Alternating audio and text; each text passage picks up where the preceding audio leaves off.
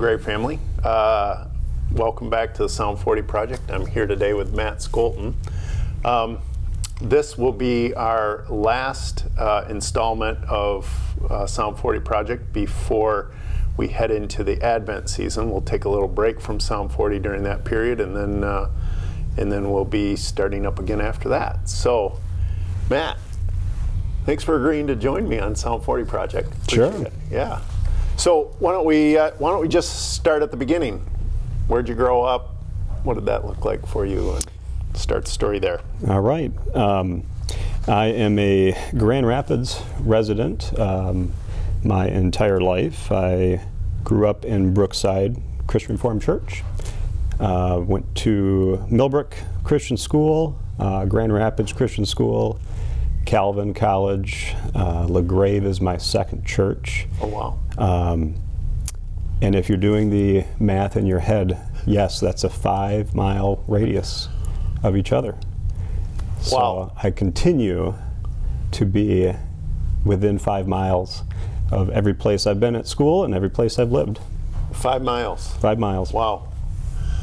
So um, so in that five miles, talk about um, who are the people who helped influence uh, faith in you in you.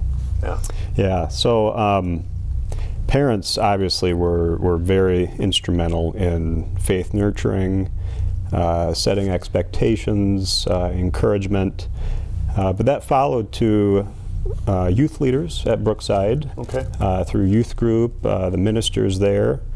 I have strong memories of my teachers at Millbrook, especially being um, firm and confident in their faith Okay. uh, growing up. Um, and throughout Christian High, Calvin, uh, sports coaches, Yeah. um, had some very good sports coaches. Um, and even engineering school at Calvin had some very good mentors Okay. and leaders there. So, is there any particular, uh, I don't know, conversation or, or occasion or uh, event that you can recall that was particularly meaningful in your faith development Um, from those folks? yeah, a couple that, that stick out. My sixth grade teacher, Mr. Brower, Okay. started his class uh, that year with a very strong faith statement.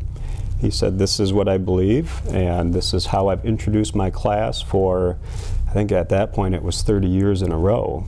Wow. Um, so that was the, the politely insistent, this is what I believe and why. yeah. Um, I had uh, uh, baseball coaches um, that would hand out Bible verses. Um, and it was always coaching within the context of we're here to play baseball, but we're also here to Wow. uh, be Christians. So, your growing up experience, you had people along the way, teachers, co- coaches, just really being intentional with their own, sharing their own faith with you and, Yeah. and your classmates and teammates Yeah. and so forth. Yeah. So I, I have to ask, if you were at Brookside, there's is there any chance that you crossed paths with Bob Grising when he was youth pastor there? Ooh, um, Bob has been here, I think, longer than I've been alive. I think that's So uh, I'll have to ask my parents about that. it's, it's possible. That's right. I had to get that in there. That's okay. yeah. All right. So, um, wow, that's fascinating. I find that fascinating. Just growing up then in that five mile radius.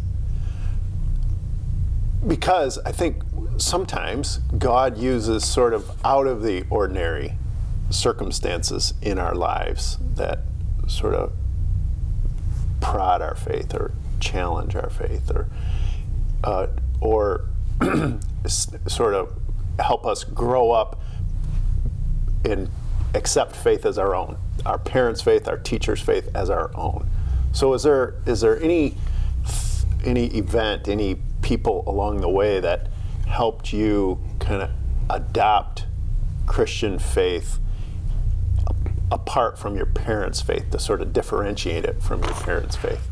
So I think the first time I actually sat back and reflected outwardly, Okay. um, you know, growing up, uh, the focus was sports, school, music, uh, you know, church, and and doing all that within you know that context. But uh, it wasn't until I got to Calvin that I was encouraged to think out outside of you know my direct circle. Okay. And you know how am I, how am I going to take these skills that I've learned at Calvin and, and you know be in the world but not of the world. okay. Um, so it was engineering professors, uh, one of which attends here, Okay. that said, "Hey, you're going to, uh, you know, be fairly successful. You're going to be asked to lead, um, and really, how how are you going to go about doing that?" Um, so it started that that outward thinking of, uh, you know, who who am I going to be?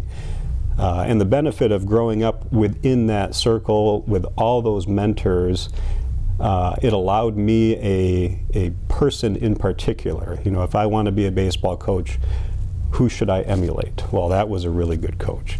If I want to be a, a youth leader, you know, for, for scouts, Yeah. uh, I had youth leaders that I could say, you know, those were, were excellent leaders. What were their qualities, Yeah. and and how can I emulate uh, those people? Yeah. Wow. So the power of mentoring and the power of just adults sort of helping to shepherd the faith in younger folks was influential for you? Yeah, absolutely. Yeah. Yeah, At, at, at every stage, I think I, I can look at somebody in my past that has been a mentor, whether they knew it or not, and they, they have made an impact where, um, you know, how do I want to handle myself? How do I want to grow? I can look at somebody and, and say, well, that was a good Yeah. resource. That was a good example.